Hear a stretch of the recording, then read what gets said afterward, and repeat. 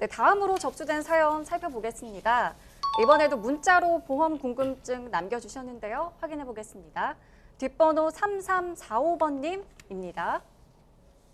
네, 안녕하세요. 23살 남자입니다. 저는 실비만 갖고 있었는데 다른 보험도 가입해야 할까요? 오늘은 굉장히 상대적으로 젊으신 시청자분들이 연락을 많이 주셨는데요. 이 너무 스물- 똑똑하신 거죠, 네, 사실. 23살 남성이신 우리 시청자분이 실비만 가지고 있다고 합니다. 우리 시청자님이 추가할 만한 보장이 있을까요? 어, 그럼요. 추가하셔야 됩니다. 어, 일단 실비 자체를 가지고 계신다는 게 어떠한 위험성이나 혹은 내가 아팠을 때, 다쳤을 때 대비를 하시기 위해서 실비를 가지고 있으신 건데요.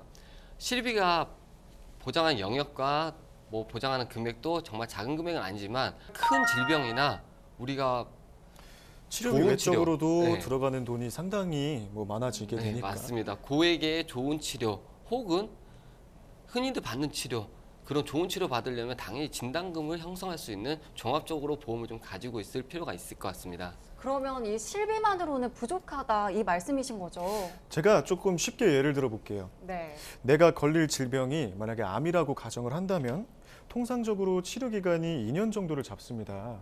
근데 그 기간 동안 발생하는 게 치료비뿐만 아니라 내 치료에 전념하는 기간 동안 들어가는 생활비, 또 요양비 등등 생각보다 많은 금액이 들어가실 거예요.